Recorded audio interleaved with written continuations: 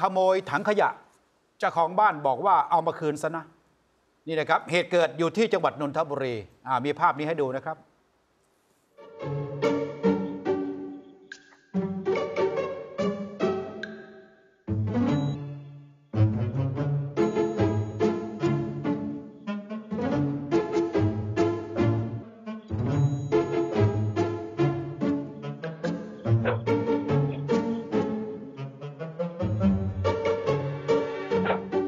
ายนะถอยมา แล้วก็มายกถังขยะอ้าวใบแรก สีเหลืองนะครับ คุ้นเคยไหมอ่ายกแล้วก็นอนไว้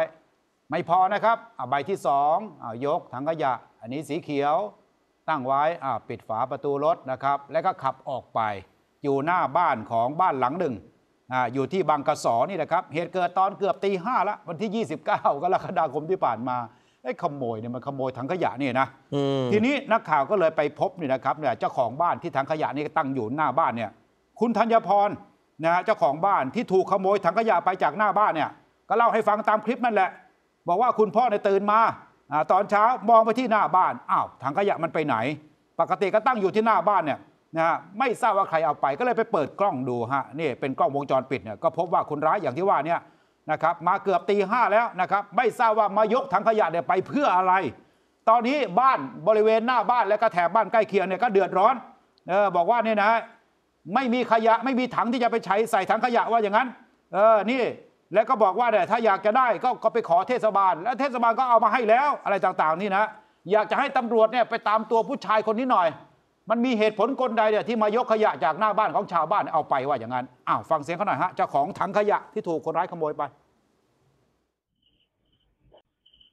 ก็ไม่เมื่อรู้เมื่อเช้าคุณพ่อตื่นมาค่ะ ตื่นตื่นมาแล้วเขาก็เขามาตุเขาก็มองลงไปหน้าบ้านถังขยะหายไปหมดเลย เออเขาก็เลยบอกบอกคุณแม่เปิดกล้องดูเขาก็เลยบอกปลุกบอกว่าให้เปิดกล้องวงจรปิดให้ดูหน่อยว่าว่ามันหายไปตั้งแต่ตอนไหนค่ะ ก็เปิดมาเจอตอนเนี่ยตีสี่กว่าสี่สิบกว่าห้าเนี่ย ว่าว่ามีคนมาแบกถังขยะไปสองถังก็ไม่รู้ว่าเขาทำไปเพื่ออะไร หรือว่าจะเอาไปใช้อะไรอย่างเงี้ยค่ะ ก็ ก็อย่าอย่าทำอย่างนี้เนาะก็บอกเทศบาลก็ได้ถ้าอยากได้ถังขยะ ถ้าถ้าหน้าบ้านไม่มีอะไรอย่างเงี้ยค่ะเออนี่ถ้าหากก็อยากได้ก็ไปบอกเทศบาลนะครับเนี่ยอาจจะเอาขยะไปเทให้ก็ได้ เดี๋ยววันหลังจะเอาถังมาคืนว่าอย่างนั้นอืแต่ไม่น่าจะใช่เนี่ยยกไปทั้งถังยกไปทั้งขยะเลย